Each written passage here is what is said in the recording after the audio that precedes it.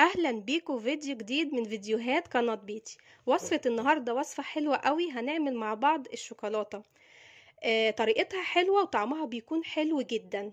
كل اللي هيعملها وهيدوقها هيقول أحلى شوكولاتة كلناها. مناسبة للكيتو دايت وكمان مناسبة لمرضى السكر. آه، مكوناتها أول حاجة نص كوباية من جوز الهند ونص كوباية من الفول السوداني. ممكن كمان معاهم نص كوباية من اللوز. أنا النهاردة هعملها معاكم اقتصادية مش هحط فيها لوز. لو هنزود عليها لوز بيكون كمان نص كوباية من اللوز. وطبعا المكونات بتكون بنفس الكوباية المقدار بنفس كوباية واحدة. آه أول حاجة هنعملها هنحمص المكسرات السوداني وجوز الهند. هنحضر الصينية. هننزل بالسوداني. وهننزل بجوز الهند. من كل حاجة نص كوباية. هبتدي دلوقتي أحمصهم في فرن البوتاجاز وطبعا طول ما هم في الفرن بنقلبهم ما نسيبهمش كده عشان ياخدوا اللون الذهبي ما نزودش الغمقان عليهم علشان ما يغمقوش وما يمرروش ولا يتحرقوا. كده بعد ما حمصت السوداني والجوز الهند زي ما أنتوا شايفين اللون الذهبي ده حلو قوي ما نغمقش عن كده. هنبتدي دلوقتي نطحنه.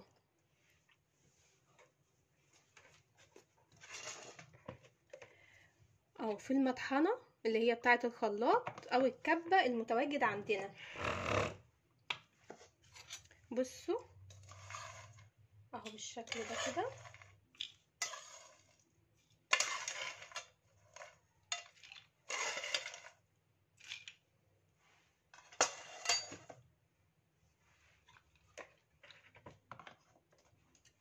هنخليه ناعم جدا.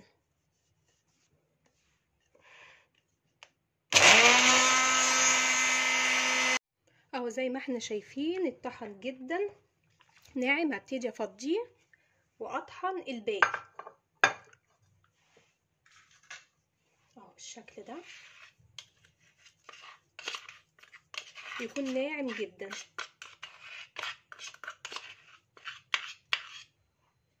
هبتدي اكمل الباقي. كده تمام. بعد ما طحنت الكمية كلها دي كانت آخر حبة طحنتهم. عشان ما اطولش عليكم بصوا اهو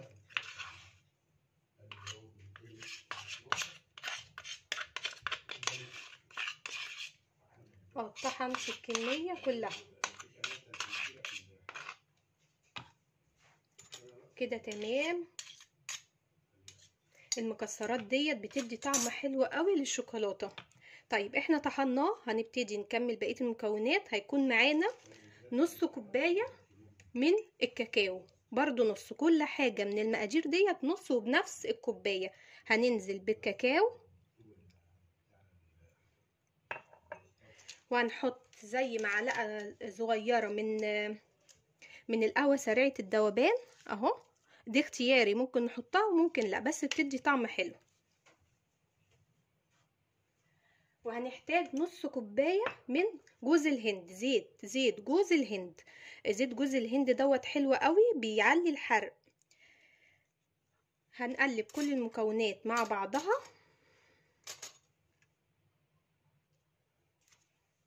أهو بالشكل ده كده.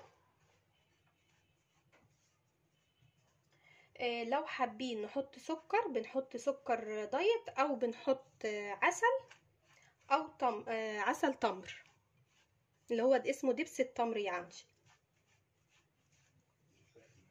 أهو كده تمام قلبناه كله مع بعضه. هنبتدي نحضر الخلاط. أول حاجة أهو بصوا أهو وهننزل بزيت جوز الهند النص كوباية. أهو بالشكل ده. أول حاجة النص كوباية زيت جوز الهند.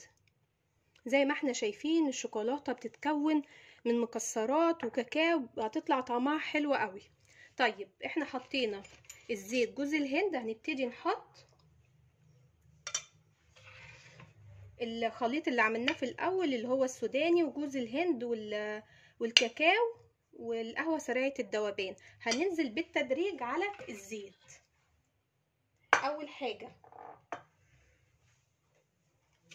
هنضرب الزيت ضربة صغيرة كده في الخلاط الأول.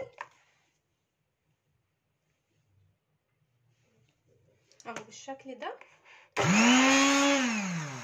هنخلطه خلطة هنلاقي لونه يتغير شوية.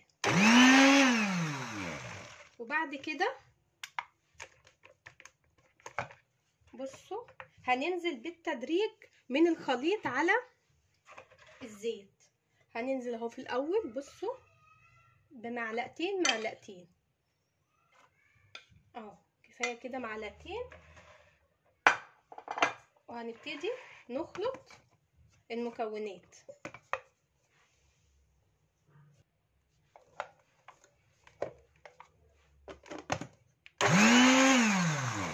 اهو زي ما إحنا شايفين بصوا الشكل. هوريهولكوا برضو. بصوا اهو. هو لسه طبعا هنحط بقية الكمية.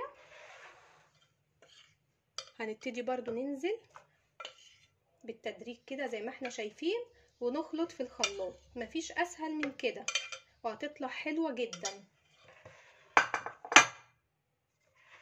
اهو بالشكل ده.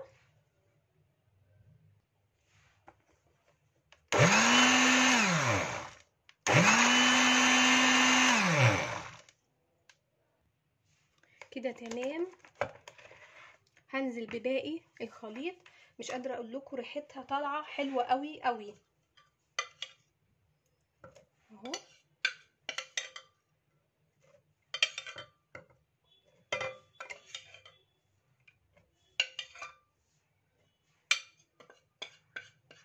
هنزل بقية المكونات كلها أهي. بصوا الباقية أهو. الخليط الباقي كله هحطه أهو. كده تمام. بصوا نزلت بكل الخليط. هبتدي برضو في الخلاط.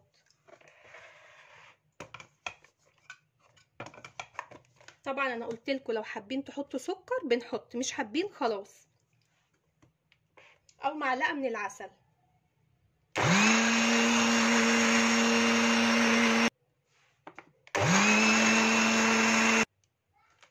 كده تمام. بعد ما خلطنا كل الشوكولاتة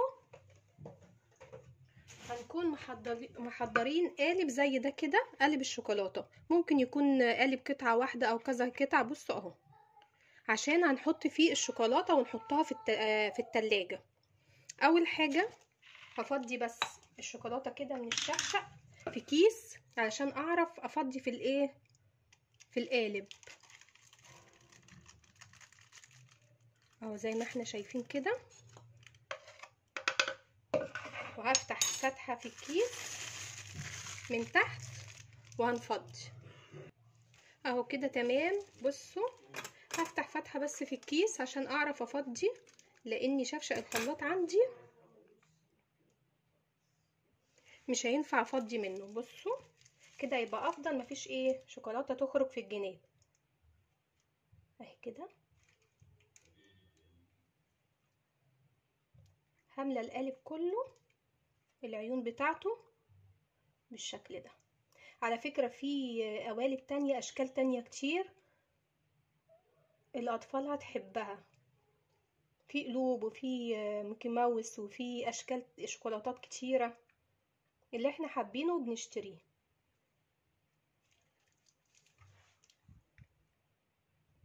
كده تمام مليت القالب كله. دلوقتي هنحطه في الفريزر يجمد أو على رف التلاجة. هي الشوكولاتة بتجمد على طول وهطلعها أوريها لكم.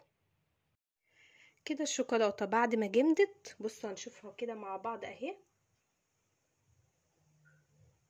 بصوا الجمال والحلاوة ديت. أهي بالشكل ده. بصوا شكلها عامل إزاي. طبعا كل ما كانت بتجمد كنت بشيل الشوكولاتة وبملى تاني. القالب بتجمد برضو الشوكولاتة كنت بفضيها و... و... وأملى لغاية ما عملت كمية حلوة. بصوا الشوكولاتة لما كنت بفضيها من القالب كنت بجيب ورقة الومنيوم وبغلف فيها الشوكولاتة. بصوا وقت ما عاوزها بطلع واحدة كده وبتطلع جميلة جدا. لو مش حابين نغلفها في ورقة الألمونيوم خلاص ممكن نحطها في في كيس ونشيلها في الفريزر عايزة أقول لكم كمان إن الشوكولاتة ديت بتسيح على طول يعني بنطلع القطعه تتاكل على طول. بصوا اهي بعد ما فضيتها من القالب هي عملت كمية حلوة قوي عملت زي 40 قطعة شوكولاتة. بصوا الجمال حلوة قوي إزاي. أتمنى يكون الفيديو عجبكم ولو عجبكم ما تنسونيش في ال like وال share ولو أول مرة تشوفوا فيديوهاتي يا ريت تشتركوا في القناة وتفعلوا زر الجرس وتختاروا الكل عشان يوصل لكم إشعار بكل فيديو جديد بنزله في قناتي على اليوتيوب. هقول لكم سلام وانتظروني في فيديو جديد.